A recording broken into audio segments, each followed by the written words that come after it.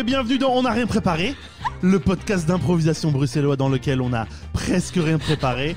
Sinon, ce ne serait pas de l'impro.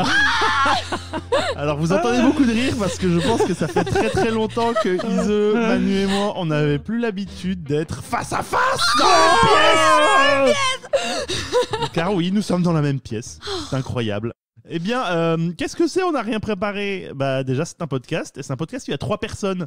Ces trois personnes, il y a moi, donc Hicham El Amouri, mais il y a également Ise Brassel Oui, c'est moi et Emmanuel Lebert qui boit son café. Bonjour. Manu n'est plus là, c'est officiel. On l'a perdu. Je suis étouffé avec le délicieux breuvage de Cham El Amouri. Et euh, qu'est-ce que c'est? On n'a rien préparé. C'est un podcast où on fait de- des improvisations, des scènes d'improvisation. Mhm. Oui, avec nous ferons trois scènes, trois scènes improvisées avec des contraintes diverses et variées que nous sommes concoctées euh, pour nous-mêmes, euh, pour notre fun et le vôtre. Comment ça va vous deux? Qui commence? C'est tellement excitant. Qui commence? Euh, écoute, euh, ça va. Donnez des nouvelles. Euh, alors, je suis un peu dans un état de fatigue second. euh, et donc, peut-être, peut-être, mais on dit souvent qu'en impro, c'est bien d'être très fatigué. Donc, peut-être que je sortirai des choses totalement inattendues et formidables. Euh, je suis assez fatigué. Mais je suis très, très, très contente de vous retrouver en présentiel pour réenregistrer On Harp. C'est assez dingo. clair. Voilà. Trop bien. Toi, Zeus. Zouz. Zouille. Zouze, zizouille. Comme on dit entre nous. Comme, on- comme personne ne le dit, mais on va le dire quand même. euh, comme je suis forcée de l'accepter, en tout cas. Euh, Oh, sérieusement. eh ben, ça va bien. euh, ma vie était un peu merdique. Il y avait des événements pas cool. Et puis, comme ça, le karma a décidé de switch tout. tout. J'ai eu des revers de chance comme ça. Ah. À part le fait que j'ai mon piercing qui s'infecte, mais à part ça, tout va bien. Shit. Well, shit. C'est pour ça que je n'ai que, que, que un coussinet d'oreille sur Un moi. les fameux coussinets d'oreilles, les mutants chats oreilles humaines. Vous voyez bien ce que je veux dire.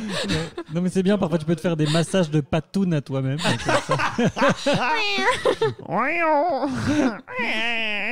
Donc, je vais très bien, à part mon oreille qui s'infecte. Oh Et merde. toi, Hicham, Oui, comment tu ça vas va bien Ça va. C'est, c'est à chaque, chaque, chaque entreprise technique liée à ce podcast est, un, est une aventure en- entière. Un défi. Alors. D'autant qu'aujourd'hui, on est vraiment arrivé, mais comme deux grosses touristes. Oui. Genre, ah oui, il faut qu'on ramène des trucs quand on vient enregistrer chez Hicham, c'est vrai. Bon, ah, il trouvera bien quelque chose. oui, Et il a bah, trouvé. Oui, oui, j'ai trouvé. Mais Oh, je- je ne vous dis pas, c'est, c'est compliqué. Eh bien, on va, on va commencer, je pense, avec la première impro d'aujourd'hui. Et, et cette improvisation est présentée par Iseuse. Eh. Et, et donc oui, moi, Ise, je vais vous présenter Pardon. cette improvisation. Euh, ce sera une deux mondes. Deux mondes différents. C'est une catégorie qui est maintenant une vieille de la vieille euh, du podcast. Euh, je vais proposer euh, à, Hicham et à Manu des personnages venant de mondes littéraires, cinématographiques, stylistiques différents. Et elles devront s'adapter à ça. Alors, pour commencer, Hicham. Tu- Vous n'avez pas mon expression. mais- Ouais, c'est fantastique. Euh, tu vas être un personnage qui vient euh, du monde de Sherlock Holmes, évidemment, Arthur Ah Conan oui. Doyle, et- et des enquêtes Merde. pleines de panache et fort londoniennes. C'est très important. Ouais. J'ai peur de ce qui va suivre. Euh, moi aussi, parce que je crois que j'ai lu un truc de, de- de Sherlock Holmes dans ma vie, c'était il y a très longtemps. Euh, bah, écoute, suis ton instinct. Mhm. Et euh, Manu, tu vas, tu vas avoir un personnage qui vient du monde des Schtroumpfs. Ah, mais non Je vous avais dit. Alors, alors attends. Euh, un truc, Jo- Johan, Johan et Pierre-Louis, c'est dans le même ça. univers que les Schtroumpfs. hein. Donc, euh, ah oui, mais vous êtes des vieux. Est-ce que vous avez seulement lu des Schtroumpfs? Oui. Évidemment. Non, mais tu te fous de Oh. notre gueule ou quoi? Est-ce que tu as seulement lu Johan et Pierre-Louis Oui. Ah, ok, d'accord. Pas dans le dessin animé des années 2015 euh, tout pourri. Quoi, il y a un dessin Non, animé de Johan et ça. Ils Pierre-Louis ont sans doute fait ce genre de choses. Je Attends, leur fais quoi? confiance pour le faire. Euh, Attends, qui- J'en sais rien. Je- Ah, ok, d'accord. Ne changez une pas de blague. sujet. Voilà, tu voyez, viendras des du blagues pas monde des drôles. Schtroumpfs. Ok, Tu seras soit un petit être bleu, soit un chat méchant, soit un, gra- un gars avec des grandes oreilles qui veut trouver de l'or à base de petits êtres bleus. Voilà, c'est c'est la vie maintenant. C'est les Schtroumpfs. Ça va être drôle. Oui, Et ok. euh, pour, euh, pour commencer votre improvisation, je vais, euh, je, vais, Ça va être n'importe quoi. je vais vous donner un mot et votre mot sera sac. Sac. Euh, et attention, c'est parti.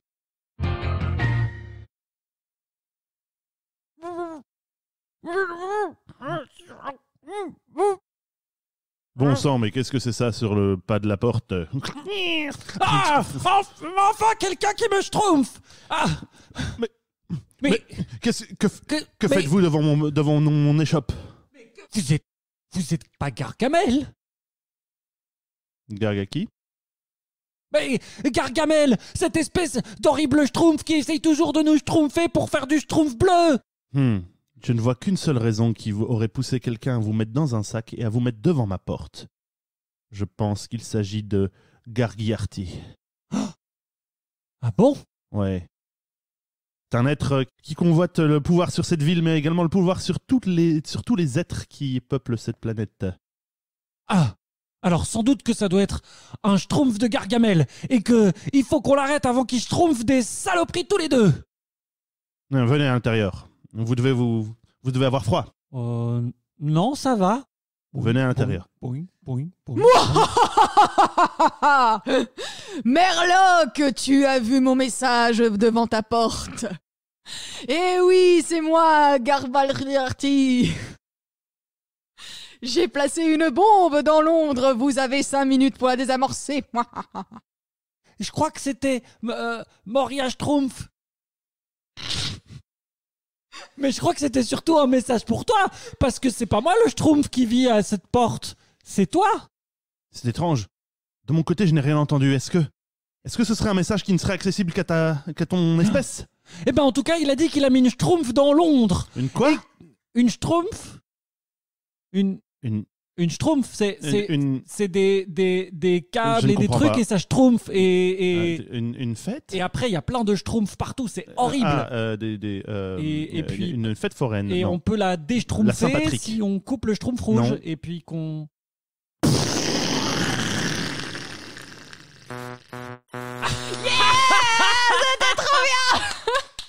Non. C'était beaucoup trop drôle. Voilà. Ça va, Isha. Mijn goed. Ça, c'est fait. Oui, Oh mon dieu, c'était tellement n'importe quoi. C'est Oui. fantastique. exact. C'est le mot, n'importe quoi. Mais vraiment, je, je sais pas, moi qui suis une fan de Sherlock Holmes, tu m'as satisfaite. Ah ouais. Vraiment. Tu Moi qui n'en suis pas, je suis dubitatif. Tu n'as pas à l'être et confiance en mon jugement. Est-ce que mon jugement a une, a une fois été mauvais Non. Alors voilà. Ok, bon, ça c'est fait. Ben voilà. hein. Tu m'as fait beaucoup schtroumpfer en tout cas. Ah bon ben merci. Ah là là, je pense que nous avons fait la blague que personne n'a fait dans l'humanité que de ne pas comprendre ce que Schtroumpf peut bien Eh vouloir dire. Non, personne n'a jamais fait Non, ça. je- non, j'ai jamais fait ça. Non, non. non, personne n'a jamais fait ça. Hein? Mais euh, si ça vous intéresse, le, le seul livre de Sherlock Holmes que j'ai lu, c'est le, le chien de Baskerville, Ah, qui bah est ultra flipouille de la rage, Ah oui. d'ailleurs, Ah ouais, pour le coup. Je crois que j'ai Ouais. jamais rien lu de Sherlock Holmes. J'ai vu la, la, les deux ou trois premières saisons de la très très bonne euh, euh, Série Sherlock. série, euh, ouais, Sherlock avec euh, c'est qui encore qui Benedict Cumberbatch. Ouais, Cumberbatch. Discutable sur la, Ah. la qualité de cette série est, est- est Ah, moi, je, relative. moi, je l'ai trouvé très très drôle et très très fine à l'époque. Mais... Ouais. Moi, euh, les tabourets de ma maison euh, chez mes parents, c'était des livres de Sherlock Holmes. Je pensais qu'elle allait vraiment sortir un truc qu'elle a rien à voir. Tabourets, ils sont Mais par contre, dédicacés les par Schtroumpfs- Arthur Conan Doyle. Les, les- les- les albums des Schtroumpfs que j'ai lus quand j'étais petite, euh, c'était chez mes grands-parents paternels qui en avaient. Et du coup, à chaque fois que j'allais chez, chez elle et eux, je, je, je- j'en prenais plusieurs et je lisais pendant des heures des albums des Schtroumpfs. Et Ouais. C'était T'as des tout aussi- vieux albums qui commençaient à se détacher et tout. Quoi. Ah bah oui. C'était aussi des tabourets, du coup Ou pas? Non. Ok. Non, non. C'était dans une petite chambre avec un, avec un gros lit à ressort. Toujours avoir besoin d'un tabouret. Ouais, mais de- moi j'ai j'ai aussi plein de souvenirs de, de, de- de lecture de BD quand j'étais gosse, genre bah, toutes les, ces BD là, toute cette génération de BD, là, genre le Scrum Moustache et des trucs comme Ah ça. oui, c'était- rarement chez moi que je les lisais, mais c'était chez des gens qui en avaient et c'était genre. Mhm. Mais oui, c'est ça. C'était vraiment la, de la- C'était boire ces BD Ouais, c'est ça. Je faisais une espèce de binge lecturing de, de BD. Genre pendant deux heures, tu n'existais plus pour les gens autour de toi. Trop bien. Eh bien, nous allons passer à la deuxième improvisation du jour, Ouais. qui est proposée par Manu. Et oui, et je m'empare d'une improvisation qui est traditionnellement proposée par Hicham. Et oui, je le mets échec et mat et c'est moi qui Waouh. reprends le lead sur une question. Je ne comprends pas quel est ce besoin de compétition. euh, Ouais, je sais pas. C'est peut-être la, acharné. la, la- la société euh, capitaliste patriarcale dans laquelle on vit. finalement. Enfin, voilà. Euh, mais donc, toujours est-il que vous le allez, Vine Society. vous allez euh, tous les deux euh, vous lancer dans une, dans une impro dans laquelle vous ne pouvez poser que des questions. Et euh, si jamais à un moment vous ne posez pas de questions ou que vous hésitez trop, je ferai ce son-là. Voilà. Qui indiquera bah, vous êtes sorti et je prendrai la place de l'un ou l'une d'entre vous. Est-ce que tu vas faire bah, vous êtes sorti à, à chaque fois? Bah, On S'il te verra. plaît. Ah ouais. Bah. Euh, et euh, nous jouerons dans plusieurs lieux différents euh, pour nous inspirer. Alors, euh, malheureusement, je n'ai pas préparé de, de fonds musicaux pour les différents lieux. Super. Parce qu'on Ah, a c'est- décidé qu'on allait faire faire ça en post-prod. C'est ça. Super. Merci, Hicham du futur, toi qui Merci, nous Hicham du écoutes. futur.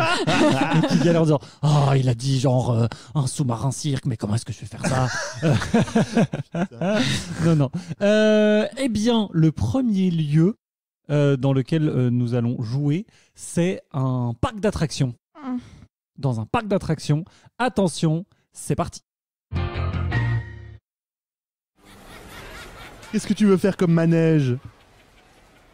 Y a pas quelque chose qui fait peur? Hmm, Tu veux dire euh, la maison de l'horreur? C'est ça qu'il y a là sur la colline? C'est là que tu veux aller? Tu m'accompagnes? Depuis quand je t'accompagne pas pour les attractions? Ah. Y, a- y a-t-il un lieu où tu ne m'as pas accompagné en général? Les toilettes? C'est vrai. Ça devenait dur de contrer ça pas mal. Oui, euh, c'est difficile. Très bon premier échange, très bon premier échange. Eh bien, euh, eh bien j'arrive dans l'arène. Moi, la Oh, compétition, j'en- tout je de suite. C'est hein. vrai, c'est vrai, toujours. Attention, c'est parti. Et pas un peu bizarre cette barbe à papa? Toi aussi, tu te sens un peu euh, à l'intérieur? Euh, Lequel d'entre vous est le vrai? Euh, Est-ce que, est que, est que vous allez arrêter de prendre la tête de ma maman? Mon enfant, euh, comment as-tu pu me trahir toutes ces années? Et ne pas t'occuper de ta pauvre mère qui a Alzheimer? Euh, euh, euh, Euh, Maman, maman, est-ce que tu pourras un jour me pardonner? Tu ne te rends pas compte que c'est moi? C'est quand ton imagination qui te fait des tours? Euh, de p- euh, poète Ça Bof, avait hein. bien commencé Je vais plus. poser une question, mais après je vais faire une longue affirmation et ça va passer. Eh bien non. Voilà, Eh ben non. chacun Ok, ses limites. Ise et moi, on est partis. Bon, c'est encore long la file. euh. Tu veux tenir la montre de maman? Tu me donnes ta montre? Regarde, tu vois la grande aiguille là? Celle qui est sur le 11 Tu me préviens quand elle est sur le 12. Point Ouais, d'exclamation. ouais, mais c'est con parce que c'était c'était une question, c'était pas la bonne intonation. Mais oui, tout à question. fait. Bon. on va changer de lieu. Ok. Ouais. continuer euh, et on, on recommencera Hicham et moi. Nous allons, euh, nous allons continuer dans un Ikea, Oh ouais. enfin dans un, ouais, dans un Je me magasin demande de quelle ambiance meubles. sonore je vais bien pouvoir, pouvoir trouver pour ce truc. Merci Dieu du de merde. futur, tu es merveilleux. C'est parti.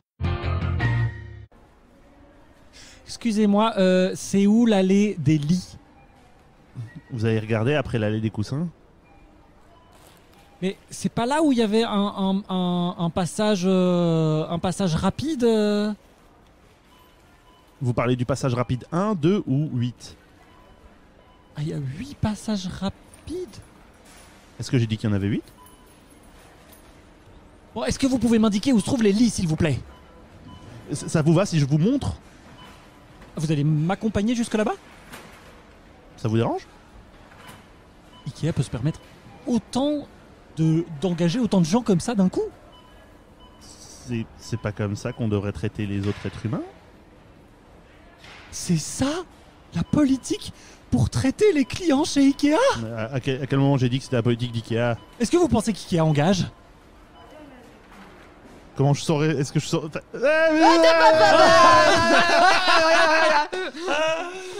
Ok. Ise, on est parti. Ouais. Est-ce que je prends les draps avec les orchidées bleues ou le drap avec les orchidées rouges? Est-ce que tu penses vraiment qu'avec le mur jaune du fond de la chambre à coucher, les orchidées rouges, ça va fonctionner?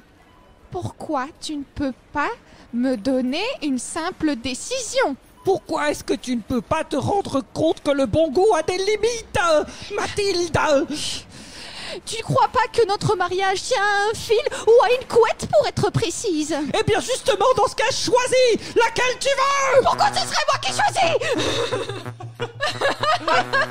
Arrêtez. Bon. Jamais Vous avez erré. Comment ça? Bah, Vous avez fait une erreur, Bah moi. donc vous avez erré. Bah, euh, Allez-y, euh, Chameiseux.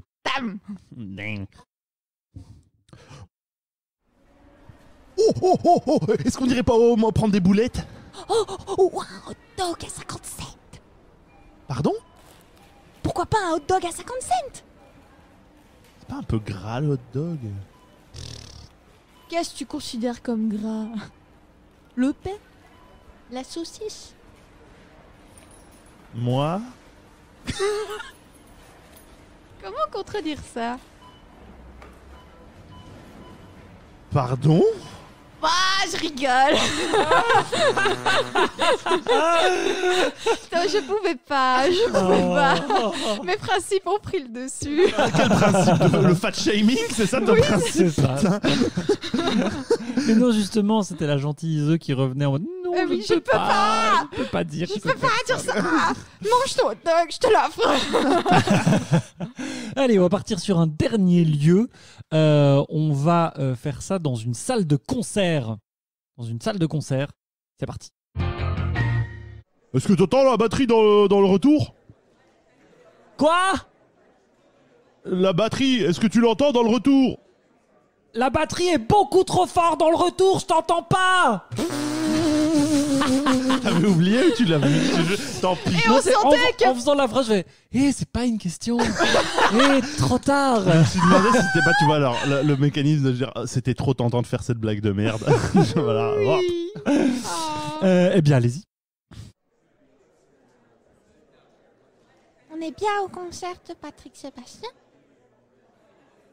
Oui. Bam Allez.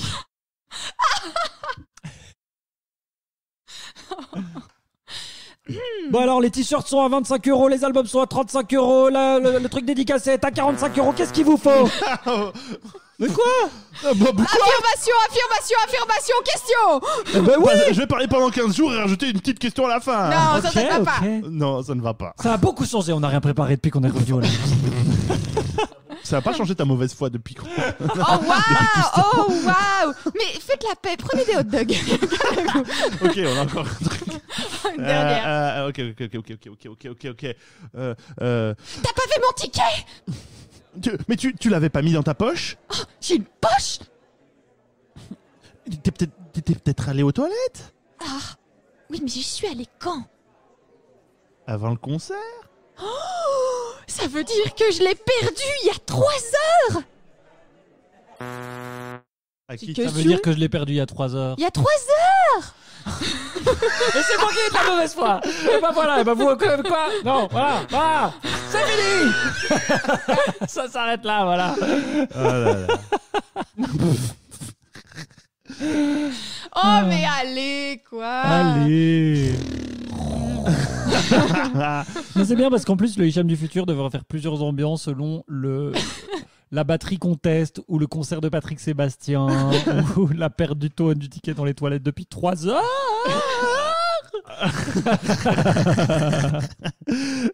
Ok. C'est beau. Eh bien, euh, eh bien, on va, euh, on va, on va passer à la troisième impro d'aujourd'hui, euh, qui est une improvisation au- au- que je propose, qui est une improvisation ambiance live. Yeah. Euh, je vais pas vous donner de mots. Vous allez vous débrouiller comme, Comme des. ça, quoi. Bah, Vous voulez Au vraiment talent. un mot Vous voulez Non, non, vraiment- non, c'est bon. Non, mais bon. va, ça va Tenez, voilà un mot.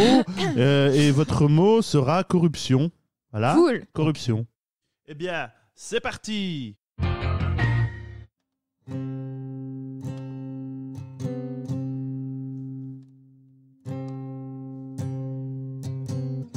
Non, je vous jure, j'ai- rien de plus à vous donner. Écoute, Chevillet, c'est ton nom de code, n'est-ce pas? On le sait tous.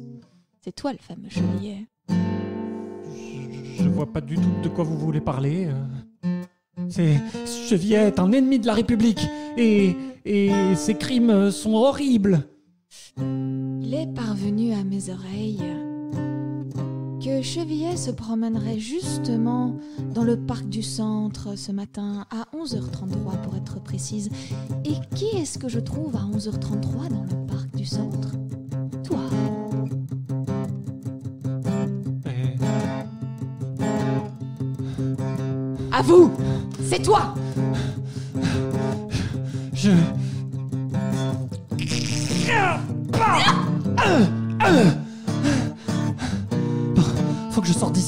avant que les autres appliquent. Non, Non Ici, si tu veux passer cette porte, il faudrait me passer sur le corps Ah ouais?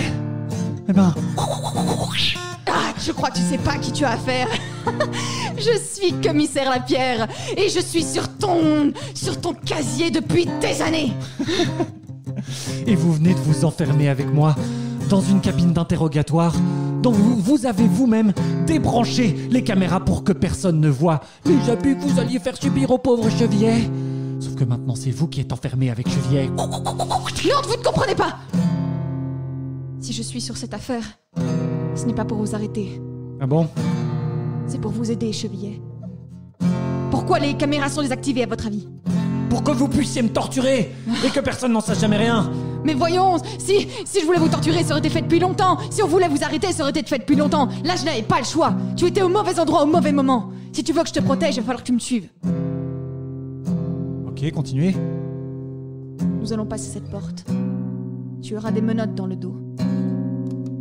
Et sur tes mains d'ailleurs. Nous traverserons ce couloir lentement, comme si je t'emmenais dans une autre salle. Et une fois la porte d'entrée à la vue, tu pourras sortir ton arme, me menacer et sortir. Ça te convient? Ok. Mais vous, Mhm. si on se rend compte de ce qui s'est passé, vous, vous allez perdre votre poste. Tout pour la patrie. On y va. Femme d'impro Oh là là Oh là là là là Oh là là là là Mais qu'est-ce qui se passe Bon alors ça... Est-ce que là là là là Je ne nous reconnais même plus dans ce style. Oh bah dis Bah, mais, mais On oui. est changé Mais ça, ça C'était marche. bien mieux que ce qu'on est capable de faire d'habitude, Ah des bah acteurs ça. sans- que t'es en train de dire? Euh, non, Ok.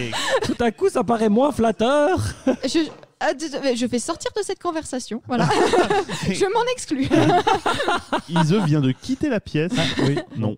Il Eh à son non, elle est toujours là. mais y a- que tu- tu- ça nous déçoit. Enfin, on n'est pas déçu que tu sois toujours là. On est content. Oh, En tout cas je suis contente. cool. Moi aussi, je suis contente d'être là. Merci, merci Voilà. les gens. Bah, tant mieux, tant mieux. Hmm. Non, très bien Le début Bah. d'une épopée épique Le début d'une épopée épique. Est-ce que le Honarverse vient de s'enrichir de... Oh waouh, avec commissaire narratif et euh. Chevillet. Chevillet. Chevillet, c'est vraiment un bon nom. hein. Ça, Eh. fait vraiment, ça fait vraiment euh, Victor Hugo. euh, Ouais, j'avoue. On dirait, on dirait une, ouais, une, version, euh, une version française de Sherlock Holmes, un peu limite comme truc. Tiens, tiens. Le des pauvres. Tiens, tiens, tiens, Tiens, tiens. Ok, bah, bah, bah, c'était, les improvisations euh, d'aujourd'hui. Eh bien, Et euh, nous allons passer à notre séquence préférée, euh, c'est les coups de cœur. Nous allons Ouais. commencer avec le coup de cœur d'Ise. Ouais, et ben mon coup de cœur, c'est pour une activité que j'ai faite euh, ce week-end pendant ce congé. J'ai, je suis allée au parc Sortilège. Connaissez-vous? Hmm. Non. ben oui, mais je suis jamais allé. Alors, le parc Sortilège, c'est un parc d'animation euh, médiéval. Euh, ça peut, c'est pour euh, grands, petits, familles, euh, enterrement de vie de jeune fille, tout ce que vous voulez. C'est en face de la ferme Nopilif au niveau géographique. Et qu'est-ce qui se passe? Vous arrivez, vous êtes avec votre team de gens. Et vous avez un rôle qui vous est assigné, soit vous êtes des trolls, soit vous êtes des elfes, voilà. Et votre but est de devenir chevalier. Et pour devenir chevalier, il faut aller dans plein d'étapes du parc qui est très vert et très beau. Euh, et à chaque étape du parc, vous avez des épreuves avec des animateurs, des animatrices euh, qui euh, vous donnent une qualité pour devenir chevalier. Et quand vous avez toutes les qualités, seulement là, vous pouvez retourner au royaume. Et c'est beaucoup trop cool, j'y suis allée avec mes copines. merci, merci. Je suis chevalier maintenant. Bravo. Mais c'était trop cool parce qu'on était quatre adultes. C'est très rare d'être quatre adultes dans ce parc, Ah ouais faut le savoir. Il y a beaucoup de gosses, j'imagine. Ouais, mais on était les mieux costumés. on était habillés en fées, pirates, chevaliers, un peu un mix de tout comme ça. Un mash-up. C'était, c'était trop bien. Et évidemment, on était à fond dedans, quoi. Il faut trouver un nom d'équipe. On était le bouquet. Et le bouquet a réussi à devenir chevalier. Ah, on était trop Eh ben, contents. C'est vraiment, c'est le, le, le, le- je sais pas, entry level GN quoi. Mais un, un peu, oui, c'est ça, exactement. Euh, pour euh, les, Il y a un peu des gens avec des tracts qui t'attendent à la suite pour faire. Si vous avez aimé, venez. Venez jouer au jeu de rôle. Faites de GN Mais carrément, et c'est justement, je connais ça grâce euh, euh, à Mar, qui est euh, un ami du GN. euh, qui, qui, qui travaille là-bas. Et ma sœur aussi travaille là-bas maintenant. Sorcière Ouais. Agatha, on te salue. Sorcière Agatha. Eh ben. Eh ouais. En tout cas, vos tenues étaient très belles. Moi, j'ai vu vos tenues passer Ouais. sur- I'm very proud. I'm proud and beautiful. Non, mais vraiment, c'était trop de la balle. Je me suis bien marrée. Eh bien, euh, félicitations, ça a l'air vachement cool. Ouais. Je pense qu'il faut, il faut vraiment y aller avec des déguisements quoi. Mais oui, il faut y aller avec des potes et être dans l'ambiance. Mais donc, c'est en extérieur, quoi. Donc, plutôt quand il fait beau. Ah oui. Oui, oui, oui, Donc oui, oui, pas en Belgique. Well. ouais. Alors bon. Alors, mon coup de cœur à moi Bah, les vrais chevaliers, ils supportent la pluie, voilà. Il rouille. Ça fait partie des qualités, en fait. Il Ça fait trop beau, il te ouais, d'être inoxydable. ok, bah, merci The. Allez, Ça a l'air fort sympathique. Et tu, attends, tu as dit que géographiquement c'était en face de la. de- La de- ferme Nopilif. Ça ne m'aide pas du À tout. Neder-Overenbeek. Ah ok, c'est mieux. Ça m'aide. Enfin, ça m'aide plus En, en banlieue bruxelloise. en banlieue à bruxelloise. Euh, bah, merci beaucoup Ise. Pleasure. Et Manu, quel est ton Oui. coup de cœur? Alors mon coup de cœur, c'est un livre formidable, mais que vous ne pouvez pas voir parce que c'est un podcast audio. Ça s'appelle Une histoire de genre, guide pour comprendre et défendre, et défendre les transidentités par Lexi. Alors Lexi, c'est une femme trans qui tient notamment euh, un compte qui s'appelle Aggressively Trans euh, sur euh, Insta. Vous aurez évidemment les, les, Lélia. les liens, voilà, c'est ça. Et en fait, sincèrement, je trouve que ce nom de compte est assez mal trouvé parce qu'elle n'est pas du tout agressive. Au contraire, elle est très pédagogique, elle est très chouette. euh, voilà, c'est une personne formidable. Et elle a écrit euh, ce livre assez génial euh, qui est publié, chez Marabout, qui est quand même une grosse maison d'édition, qui est un peu un guide qui manquait encore, d'après ce que j'ai compris, pour un peu avoir un- une espèce de panorama euh, des identités trans. Donc ça sert autant pour des personnes trans que des personnes alliées, c'est-à-dire des personnes qui ne sont pas concernées mais qui ont envie de se mettre un peu au service et d'aider euh, et d'aider la cause. Et donc il y a euh, des chapitres sur qu'est-ce que c'est les identités trans, avec notamment tout un truc sur qu'est-ce que c'est les différentes transitions médicales, les différentes opérations chirurgicales qui peuvent suivre, le fait que être trans, c'est pas forcément subir des transitions chirurgicales, ce genre de choses. Aussi euh, les représentations euh, des transidentités autour du monde et à travers les siècles, des choses sur la transphobie, qui est quand même toujours très présente. D'ailleurs, hier, Mm. euh, la veille du jour où on enregistre, c'était la journée mondiale contre la transphobie, la biphobie, l'homophobie et la lesbophobie. Et on rappelle que jusqu'à il y a quelques années, la trans, la trans, les transidentités c'était quand même toujours reconnu comme une maladie mentale. Euh, et puis euh, des chapitres que je n'ai pas encore lus sur euh, qu'est-ce que c'est que la communauté trans ou les communautés trans et les visibilités et représentations des trans dans la culture populaire et leur traitement médiatique.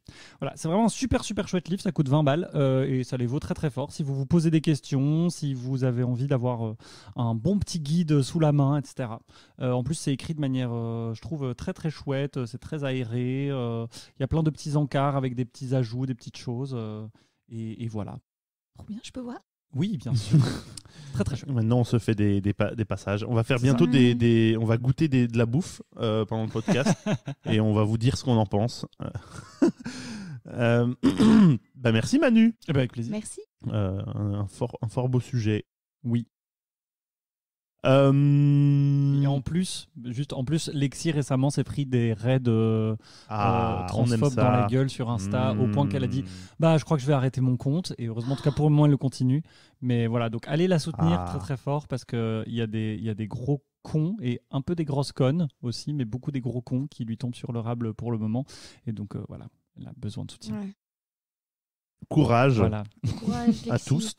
Euh, oui. Je ne sais pas quoi dire d'autre. Euh, voilà. C'est déjà. Oui, c'est déjà pas mal. C'est déjà pas mal.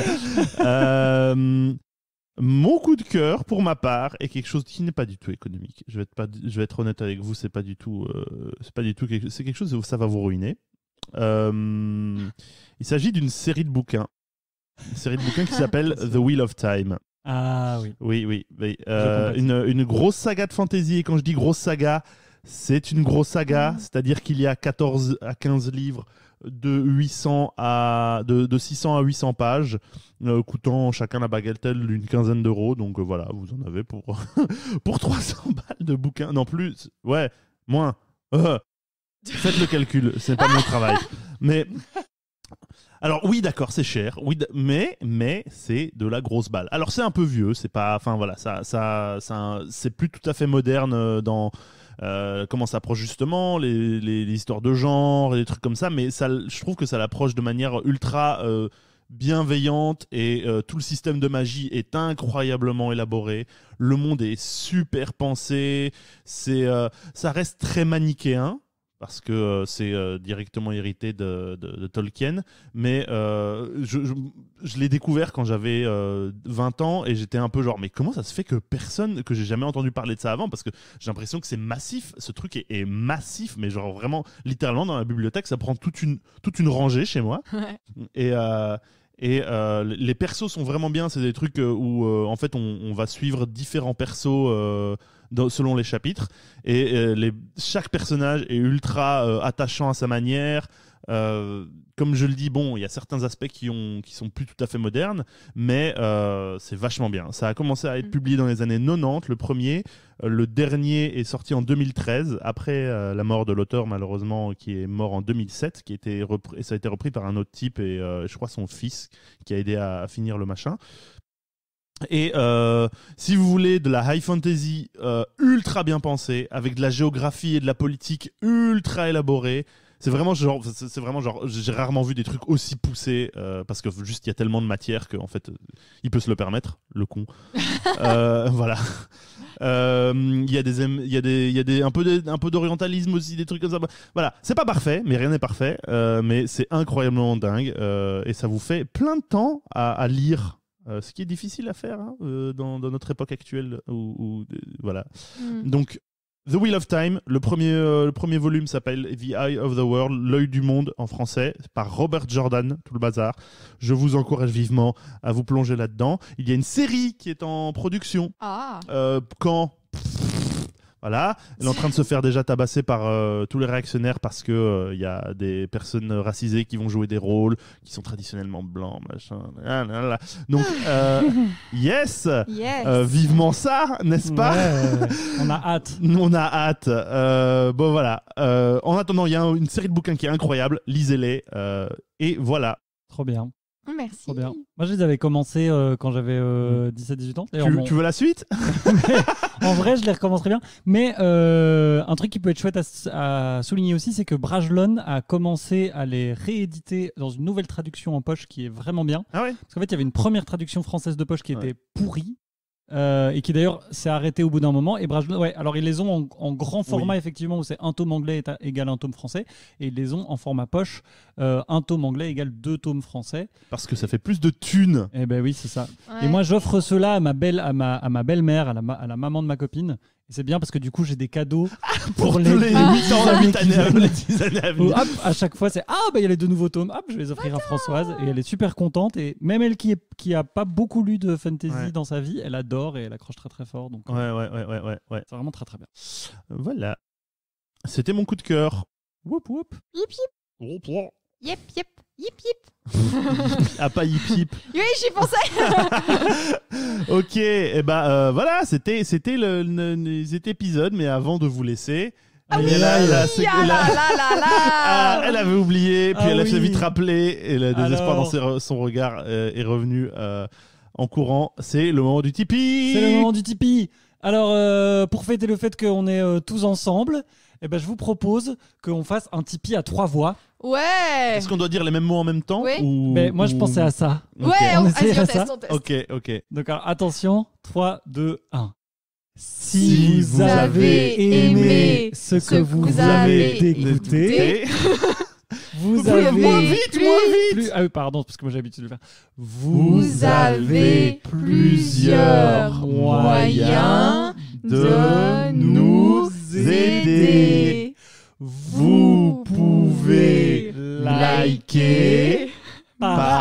partager et et en parler autour de vous. ou bien si vous en avez les moyens et l'envie, venez nous donner sur Tipeee. Ouais Tellement nul, j'adore. C'est tellement nul, je suis tellement. T'as dit quoi Non, non, On est tellement nul, Ah j'adore. oui, ok, d'accord. C'est- Je enfin, savais pas non, que. dans le sens, c'est con, j'aime bien qu'on Ah s'amuse ouais. avec des choses comme ça. J'ai hâte de l'écouter la version finale. Pauvre Hicham qui va faire le montage. Ça va. Bravo Hicham du futur. Ouais, bravo Hicham du futur. Laissez-le dans son existence qui n'est pas encore là. Ouais. Il ne sait pas encore ce qu'il attend. Euh, Mais donc oui, nous avons un Tipeee, euh, plateforme de financement pa- pardon, participatif sur lequel vous pouvez donner euh, de manière régulière ou de manière euh, ponctuelle si ça vous chante. Euh, ça nous permettrait de, de- d'avoir des in- de nous rémunérer peut-être un jour, de peut-être rembourser le matos euh, que, que nous utilisons actuellement. euh, tout ça. Euh, bah oui, Bah tout oui, ça. plein de c'est- belles c'est- choses. c'est plein de belles choses. Peut-être de nous payer des sandwichs. Oh, Waouh. Ouais, parce que pour l'instant, euh, Euh, Pas de sandwich, hein. pas de sandwich. clairement pas de sandwich. Qu'on a faim. Ouais, on a faim. Et, oui. Je bois du Et thé. on boit du café sans eau. on mange du café donc. Oui, c'est vrai. Dans tous les Ok, cas, en tout cas, sur ces bonnes paroles, nous allons vous laisser. Euh, C'était l'épisode 35 de On n'a rien préparé. Euh, nous vous retrouvons en juin avec peut-être des invités à nouveau, on ne sait Oh, pas. hein. Et pour la- le dernier mois de la saison 2. Ouh. Waouh. Yeah. Ça aurait été une longue saison quand même. Ouais, bah, c'est une saison en fait.